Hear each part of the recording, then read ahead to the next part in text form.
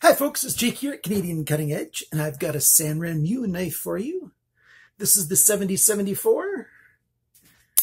It comes in three different colors. That is, they're all satin on the uh, show and backside, but the beveled edges are anodized three different ways.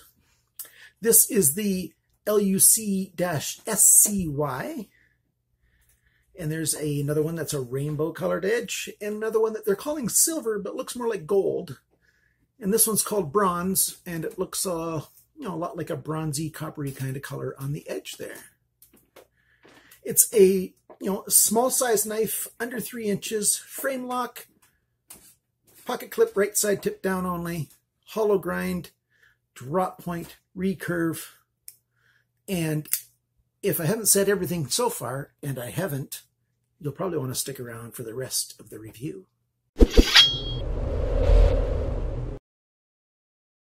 Let's start off by talking about this handle. It's a stainless steel. They don't say what kind of steel it is.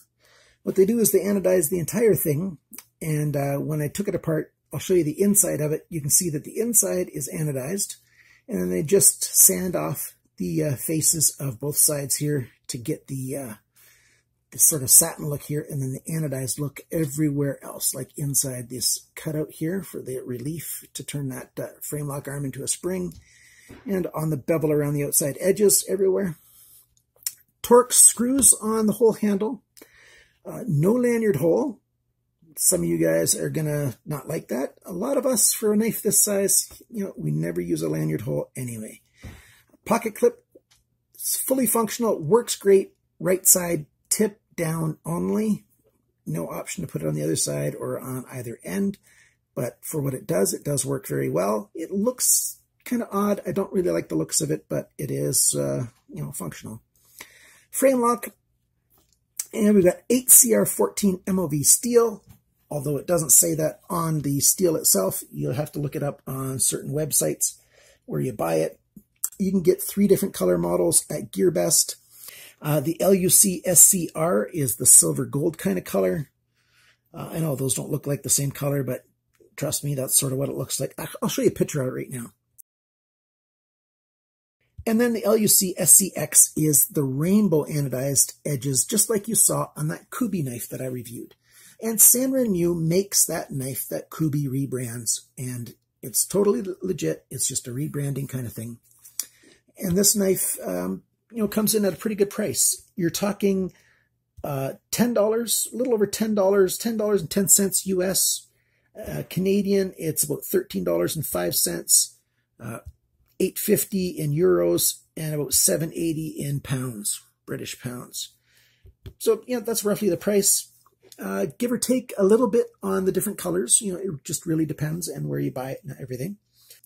We've got a drop point blade with a nice swedge coming down. That drop point starts right at the pocket clip and goes all the way down.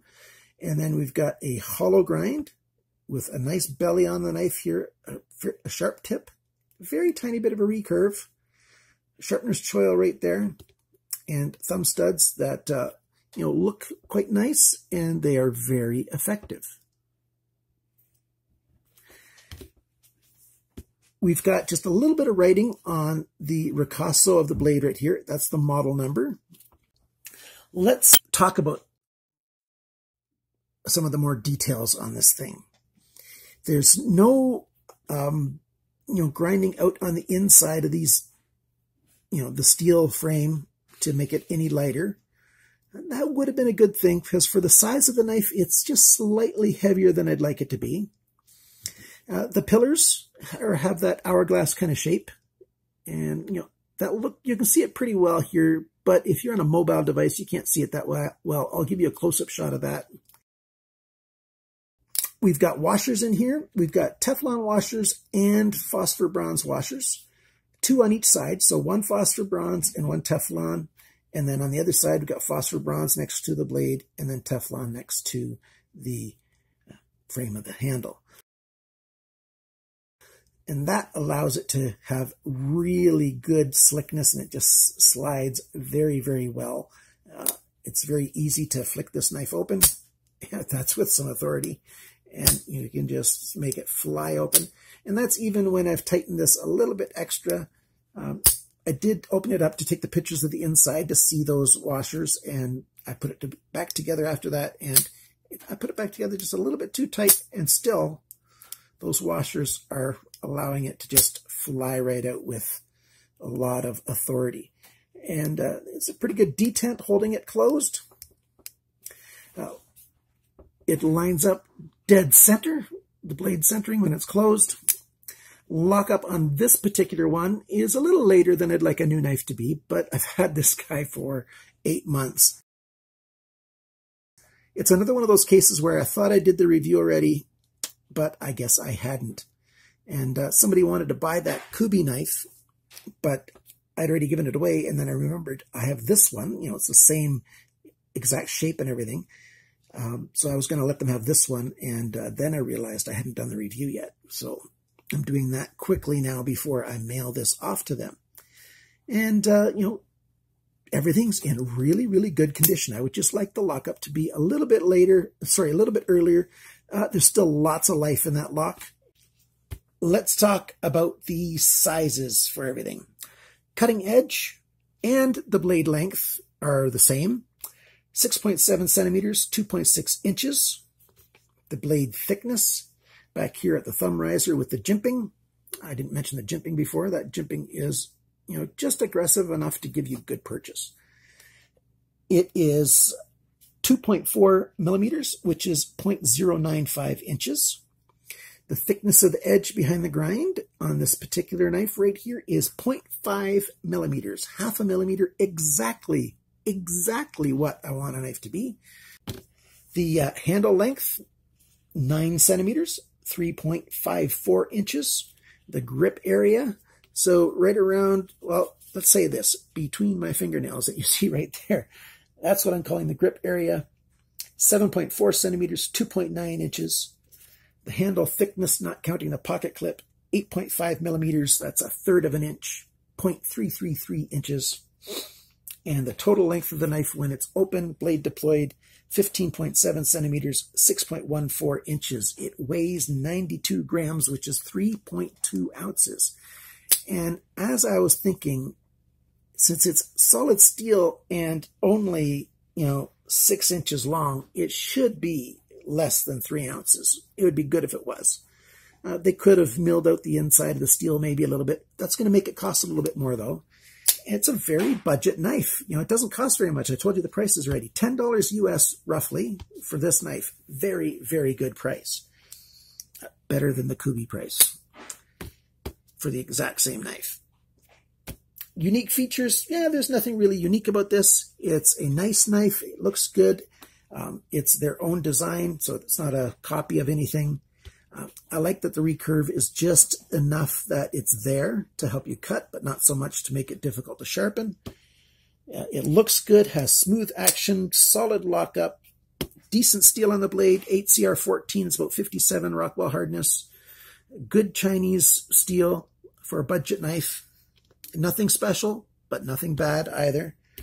Um, you know, cons for some people, this lanyard hole might be a con. For other people, it's a plus. For me, it's a plus that there's no lanyard hole because I wouldn't use it on a knife this size anyway. Um, you know, the only other con is a little bit my own particular issue. It might not apply to you. My skin gets, you know, oily very, very easily. And so with this satin finish on the outside and satin finish on the blade, this is a fingerprint magnet tremendously. So, and that's a totally personal kind of thing. Um, it's like this thing's working for the FBI or something, because the fingerprints just are everywhere. Uh, the other thing is with the smooth face on here, it will leave uh, marks like snail, not snail trails as easily as uh, titanium handle scale. But if you put this in your pocket with a set of keys and stuff, you're going to start seeing marks on here fairly soon. You know, and that's just the way it goes, even with the blade closed. If you're wondering what it looks like in a pocket, there you go. The retention is really good. It goes in and out very well. It don't doesn't take a lot of extra pressure, and it sits down to the bottom. And we've got, you know, just over a centimeter, less than half of an inch of knife showing, and a short little pocket clip so it hides quite well. If you see any of my knives on my channel and you want to buy it, if it's a really a super inexpensive knife, it's not going to be worth it for just one knife. Uh, you might want to put together a bundle of knives that you might want. Uh, contact me, and if I think we can come up with a fair price, I'll let you know what that is. And if you agree with it, you know, we'll do it. Uh, but remember, I do need to get a fair price for these things. I only get some of these knives for free. A lot of them I buy with my own money. And uh, I'm really trying to raise some funds to help take care of my mother. And my own personal budget, you know, is tight. So that's just the way it is. Let's do some cut tests. Got this one inch wide molly banding stuff. Just zips through that. Super, super easy. You want to see that again? It just flies through this stuff. No problem at all. Let's try some of this uh, Ethernet cable that I've got. You know, that's a network cable. You've got eight strands of copper in here, so it is harder to cut through it. There's those eight cables in there. Each has their own sheathing, and then that gray sheathing is rather thick as well. And yet, it still cuts paper super, super well. So there you go. What do you think of this knife? What do you like, dislike? Let me know about that. Thank you for liking, sharing, subscribing, commenting. Remember, guys, always cut towards your chum, not your thumb.